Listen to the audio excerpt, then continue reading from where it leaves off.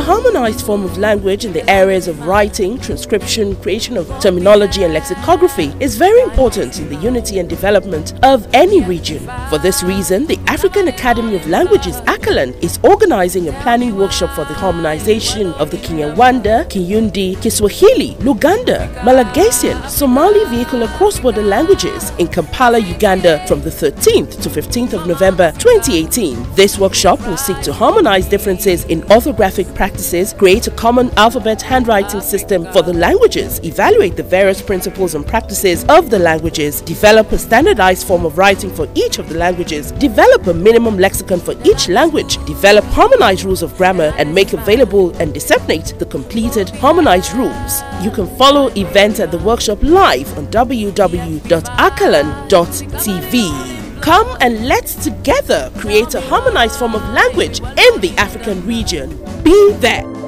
Africa.